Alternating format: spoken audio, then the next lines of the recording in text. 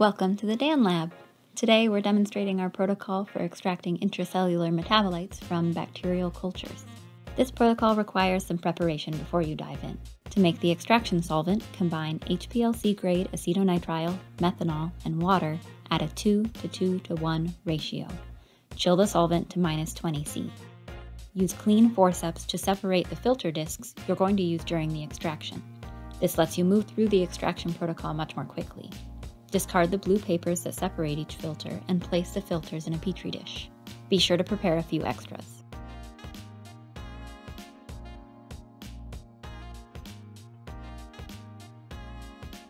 Label a small petri dish for each extraction you will do. Place these on dry ice or on a minus 80 aluminum block to chill.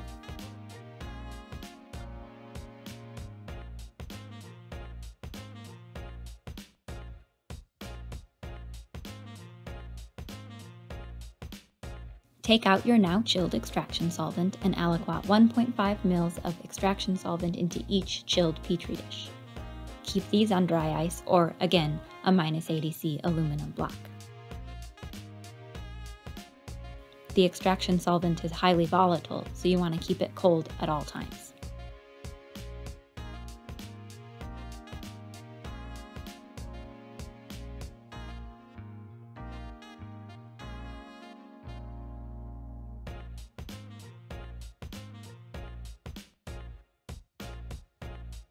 Next, set up for your extractions.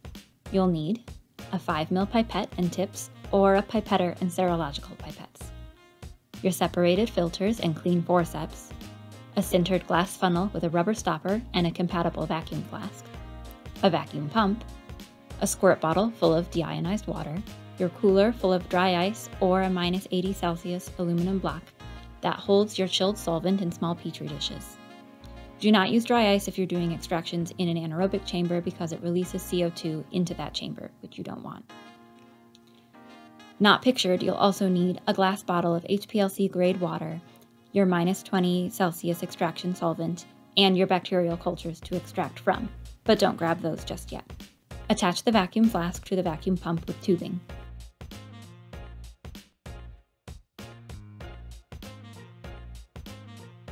Insert the glass funnel, make sure everything is secure here, and then turn on the vacuum pump.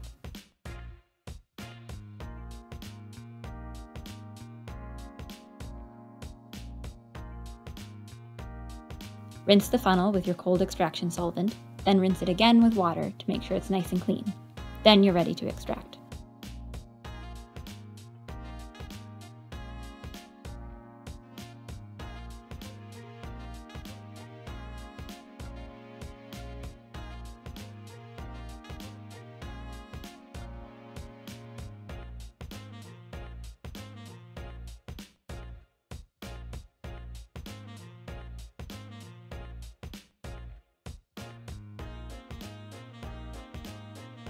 Rinse your forceps and grab one filter disc. Place the filter disc on the glass funnel so that it covers the porous surface completely. Use your forceps to hold and adjust the filter as needed. Rinse the filter with deionized water and make sure that it's laying flat on the glass filter. This could also be done with a serological pipette or the squirt bottle full of water if there's no concerns about plastic contamination. Make sure the filter is damp before you add your culture. Grab the Petri dish for your first extraction sample out of your cooler, and then grab your culture. Pipette 5 ml of bacterial culture onto the center of the filter dish.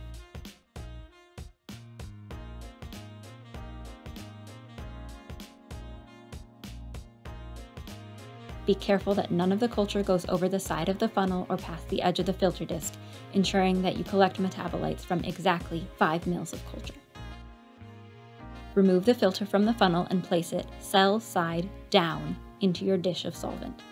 Swirl the dish to evenly distribute solvent across the whole thing, and then return the dish to your cooler with either dry ice or your minus 80C aluminum blocks.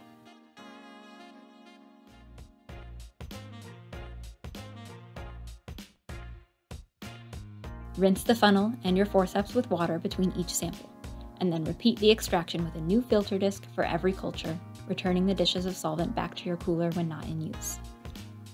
Make every effort to minimize the amount of time that the culture spends outside its growth condition because cellular metabolism changes rapidly in response to changing environmental conditions. Repeat the extraction protocol for every culture before moving on to the next steps. Store your petri dishes full of solvent with the filters in your cooler until you're done.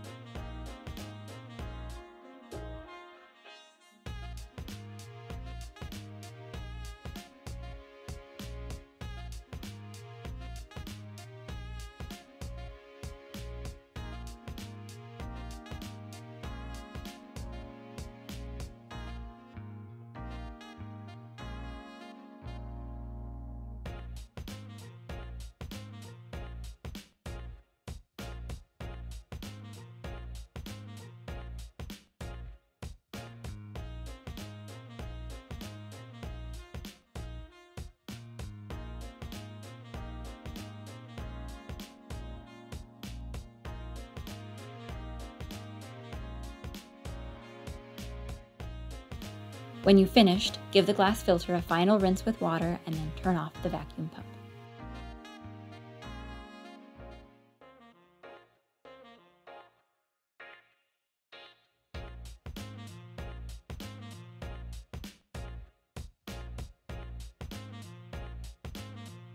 After you've finished all the extractions, you need to transfer your solvent with the extracted metabolites into EpiTubes. Take each dish out of the cooler one at a time. Rinse the filter disc thoroughly by pipetting the solvent over the disc about five times.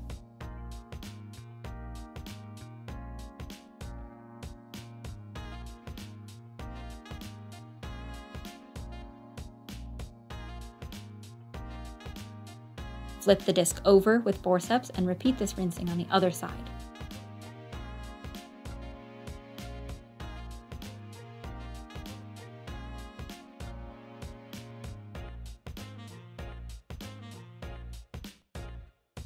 Finished rinsing, transfer the liquid into a clean, labeled Eppendorf tube, and repeat this for all of your samples.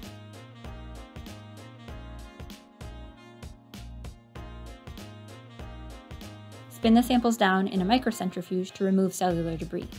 Spin for 5 minutes at maximum speed. Remove the tubes back to ice when your spin is finished.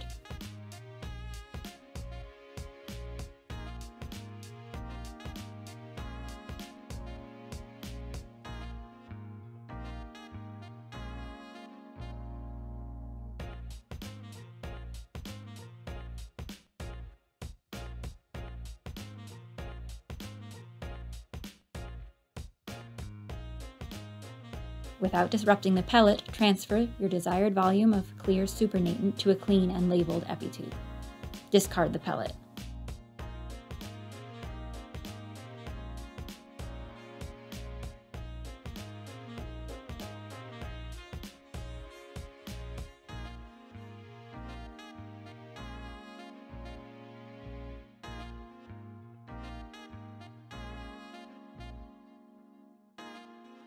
These samples should be stored at minus 80 C if not used immediately.